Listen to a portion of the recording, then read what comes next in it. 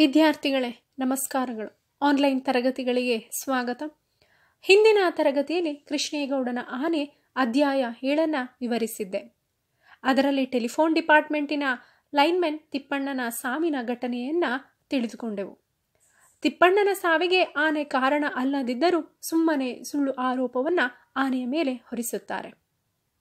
ಈಗ ಅಧ್ಯಾಯ ಎಂಟಕ್ಕೆ ಬಂದಾಗ ಇದರಲ್ಲಿ ಎರಡು ಘಟನೆಗಳು ನಡೆಯುತ್ತೆ. ಹಳೆಕುಪ್ಪದ ಸುಬ್ಬಣ್ಣನ ಕೊಟ್ಟಿಗೆಯನ್ನು ಆನೆ ದೂಡಿ ಬೀಳಿಸಿತು ಎಂಬಂತೆ ಆನೆಯ ಮೇಲೆ ಆರೋಪ ಹೊರಿಸುವುದು ಹಾಗೂ ಅದೇ ರಾತ್ರಿ ಶಿವೇಗೌಡರ ಸಾಮಿಲಿಗೆ ಕಳ್ಳನಾಟ ಸಾಗಿಸುತ್ತಿದ್ದ ಅಬ್ಬಾಸನ ಲಾರಿ ರಸ್ತೆ ಪಕ್ಕದ ಗೋಣಿ ಮರಕ್ಕೆ ಡಿಕ್ಕಿ ಹೊಡೆದು ಮರದ ದಿಮ್ಮಿಗಳಿಗೂ ಗೋಣಿ ಮರಕ್ಕೂ ನಡುವೆ ಸಿಕ್ಕಿಬಿದ್ದ ಡ್ರೈವರ್ ಅಬ್ಬಾಸ್ ಕ್ಲೀನರ್ ಕೃಷ್ಣ ಇಬ್ಬರು ಅಪ್ಪಚ್ಚಿ ಆಗಿ ಹೋದಂತಹ ಘಟನೆಯನ್ನು ನಾವು ಇದರಲ್ಲಿ ನೋಡ್ತಾ ಹೋಗ್ಬೋದು. ಇದರಲ್ಲೂ ಕೂಡ ಈ ಎರಡೂ ಘಟನೆಗೂ ಕೂಡ ಆನೆ ಕಾರಣ ಅಲ್ಲ, ಆದರೆ ಸಂದರ್ಭಕ್ಕೆ ಕ್ವಚಿತ್ತಾಗಿ ಅದನ್ನು ಬಳಸ್ಕೊಳ್ಳೋದನ್ನು ಅಥವಾ ಆರೋಪವನ್ನು ಹೊರಿಸಿ ಸುಮ್ಮನಾಗುವುದನ್ನು ಕಾಣಬಹುದು. ವಿದ್ಯಾರ್ಥಿಗಳೇ, ಅಧ್ಯಾಯ ಎಂಟರ ಸಾರಾಂಶವನ್ನು ಈಗ ನೋಡೋಣ.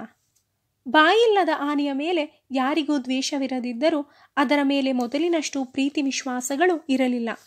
ಜನರ ದೃಷ್ಟಿಯಲ್ಲಿ ನಡೆಯುವ ಎಲ್ಲ ಅನಾಹುತಗಳಿಗೆ ಕಾರಣವೆಂದು ನಿಧಾನವಾಗಿ ಅಪರಾಧಿಯಾಗುತ್ತಾ ಹೋಯಿತು. ಕಾಡಿಗೆ ಹೋಗಿ ಬಂದ ಆನೆಯ ಮೇಲಿನ ಜನರ ಧೋರಣೆ ಬದಲಾಗಿತ್ತು. ಇದಾವುದರ ಪರಿವಿಲ್ಲದ ಆನೆ ತನ್ನ ಪಾಡಿಗೆ ತಾನು ಓಡಾಡಿಕೊಂಡಿತ್ತು. ಜನ ತಮ್ಮ ಮನೋವಿಕಾರಗಳನ್ನು ಆನೆಯ ಮೇಲೆ ಹೇರಿಸಿ ನಿರಾಳವಾಗುತ್ತಿದ್ದಾರೆಂದು ನಿರೂಪಕರಿಗೆ ಅನ್ನಿಸಿತು. ಎಲ್ಲರೂ ಸಭೆ ಸೇರಿ ಆನೆಯನ್ನು ಶೂಟ್ ಮಾಡಬೇಕೆಂದು ಚಿಂತಿಸಿದರು. ಇಷ್ಟರ ನಡುವೆ ಹಳೆ ಕೊಪ್ಪದ ಸುಬ್ಬಣ್ಣನ ಮನೆಯ ಕೊಟ್ಟಿಗೆಯನ್ನು ಆನೆ ಬೀಳಿಸಿದ್ದರಿಂದ ಕೊಟ್ಟಿಗೆಯೊಳಗಿದ್ದ ಮೇಕೆಗಳಲ್ಲಿ ಕೆಲವು ಸತ್ತವು ಎಂಬ ಆರೋಪ ಎದುರಾಯಿತು. ಕುರಿಗಳ ಮೇವನ್ನು ಕಳ್ಳತನದಿಂದ ಕದಿಯಲು ಬಂದ ಆನೆಯಿಂದಾಗಿಯೇ ಇಂತಹ ಸ್ಥಿತಿ ಬಂದಿತೆಂದು ಅದು ಇನ್ನೊಮ್ಮೆ ಬಂದರೆ ಕೋವಿಯಿಂದ ಹೊಡೆಯುವುದಾಗಿಯೂ ಸುಬ್ಬಣ್ಣ ಎಗರಾಡಿದನು. ಅದೇ ದಿನ ರಾತ್ರಿ ಶಿವೇಗೌಡರ ಸಾಮಿಲಿಗೆ ಕಳ್ಳನಾಟ ಸಾಗಿಸುತ್ತಿದ್ದ ಅಬ್ಬಾಸನ ಲಾರಿ ರಸ್ತೆ ಪಕ್ಕದ ಗೋಣಿ ಮರಕ್ಕೆ ಡಿಕ್ಕಿ ಹೊಡೆದು ಮರದ ದಿಮ್ಮಿಗಳಿಗೂ ಗೋಣಿ ಮರಕ್ಕೂ ನಡುವೆ ಸಿಕ್ಕಿಬಿದ್ದ ಡ್ರೈವರ್ ಅಬ್ಬಾಸ್ ಕ್ಲೀನರ್ ಕೃಷ್ಣ ಇಬ್ಬರು ಅಪ್ಪಚ್ಚೆಯಾಗಿ ಹೋದರು. ಅಬ್ಬಾಸನ ಬೀಡಿ ದಮ್ ಎಳೆಯುವ ಚಟ ಬಲವಾಗಿ ಕಾಡಿ ಅವನು ಕ್ಲೀನರ್ಗೆ ಸ್ಟೇರಿಂಗ್ ಹಿಡಿದುಕೊಳ್ಳಲು ತಿಳಿಸಿದ ಪರಿಣಾಮ ಈ ಅಪಘಾತ ಸಂಭವಿಸಿದ್ದರೂ ಗೋಣಿ ಮರದ ಸುತ್ತ ಇದ್ದ ಆನೆಯ ಹೆಜ್ಜೆ ಗುರುತಿನಿಂದಾಗಿ ಆನೆಯೇ ಅವರಿಬ್ಬರ ಸಾವಿಗೆ ಕಾರಣವೆಂದು ಜನ ದೂರಿದರು. ಆದರೆ ಅಲ್ಲಿಗೆ ಬಂದ ಫಾರೆಸ್ಟ್ ನಾಗರಾಜ ಸಾವಿನ ಗಾಂಭೀರ್ಯವನ್ನು ಲೆಕ್ಕಿಸದೆ ಕಳ್ಳನಾಟ ಸಾಗಿಸುತ್ತಿದ್ದವರು ಯಾರೆಂದು ವಿಚಾರಿಸಲು ಹೋಗಿ ಜನರ ಕೆಂಗಣ್ಣಿಗೆ ಬಲಿಯಾಗಬೇಕಾಯಿತು. ಸುಬ್ಬಣ್ಣ ತನ್ನ ಕೊಟ್ಟಿಗೆಯನ್ನು ಬೀಳಿಸಿದ್ದು ಈ ಆನೆಯೇ ಎಂದು ಗೊಣಗಿ ಜನರನ್ನು ಇನ್ನಷ್ಟು ಕೆರಳಿಸಿದನು.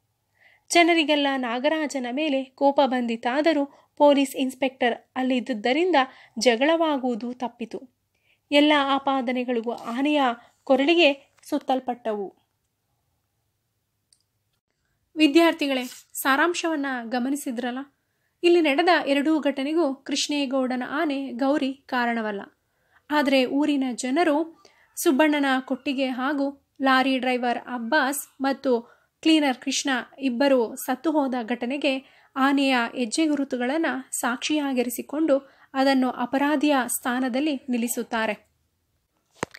ಆನೆಯು ಸುಬ್ಬಣ್ಣನ ಕೊಟ್ಟಿಗೆಯಲ್ಲಿ ಮೇವನ್ನ ಕದಿಯಲು ಹೋಗಿರಬಹುದೆಂದು ಇನ್ನು ಕೃಷ್ಣೇಗೌಡರ ತೋಟದ ದಿಕ್ಕಿನಲ್ಲಿ ಸಾಗಿದ್ದ ಆನೆಯ ಹೆಜ್ಜೆ ಗುರುತುಗಳನ್ನು ಗೋಣಿ ಮರದ ಬಳಿ ಇದ್ದ ಆನೆಯದ್ದು ಎಂದು ತೋರಿಸಿ ಆನೆಯನ್ನು ತಪ್ಪಿಸಲು ಹೋಗಿ ಲಾರಿ ಮರಕ್ಕೆ ಡಿಕ್ಕಿ ಹೊಡೆದಿದೆ ಎಂದು ನಡೆದ ಘಟನೆಯನ್ನು ತಿರುಚಿ ಹಾಕ್ತಾರೆ. ಹೆಜ್ಜೆ ಗುರುತುಗಳು ಕಾಡಾನೆಯದೋ ಅಥವಾ ಕೃಷ್ಣೇಗೌಡನ ಆನೆಯದೋ ಎಂದು ಯಾರೂ ಪತ್ತೆ ಮಾಡಲು ಹೋಗುವುದಿಲ್ಲ. ಆದರೆ ಸತ್ಯ ಏನು ಎನ್ನುವುದು ನಿರೂಪಕರಿಗೆ ಮಾತ್ರ ತಿಳಿದಿರುತ್ತದೆ. ಒಂದು ಅರ್ಥ ಮಾಡಿಕೊಳ್ಳಿ ವಿದ್ಯಾರ್ಥಿಗಳೇ. ಮೂಕ ಪ್ರಾಣಿ ಎಂದಾಕ್ಷಣ ಮನುಷ್ಯನ ಸ್ವಾರ್ಥ, ಬೇಜವಾಬ್ದಾರಿ ತಾನು ಮಾಡಿದ ತಪ್ಪನ್ನು ಆನೆಯ ಮೇಲೆ ಹೊರಿಸಿ ಜಾರಿಕೊಳ್ಳುವ ಕೆಟ್ಟ ಮನೋಭಾವನೆಯ ಸ್ವಾರ್ಥ ವ್ಯವಸ್ಥೆಯ ನಡುವೆ ನಾವು ಬದುಕುತ್ತಿದ್ದೇವೆ ಎಂಬುದನ್ನು ಅರ್ಥ ಮಾಡ್ಕೊಳ್ಬೇಕಾಗುತ್ತದೆ. ಆದರೆ ಮೂಕಪ್ರಾಣಿ ಹಾಗೂ ಭಾರೀ ಶರೀರವುಳ್ಳ ಆನೆಯಾದ ಗೌರಿಗೆ ಇದ್ಯಾವುದರ ಪರಿವೇ ಇಲ್ಲ. ಈ ಅಧ್ಯಾಯ ನಿಮಗೆ ಅರ್ಥ ಆಗಿದೆ ಅಂತ ಭಾವಿಸ್ತೀನಿ. ಮುಂದಿನ ತರಗತಿಯಲ್ಲಿ ಅಧ್ಯಾಯ ಒಂಬತ್ತನ್ನು ವಿವರಿಸುತ್ತೇನೆ. ಧನ್ಯವಾದಗಳು. ವಿದ್ಯಾರ್ಥಿಗಳೇ, ನಮಸ್ಕಾರಗಳು.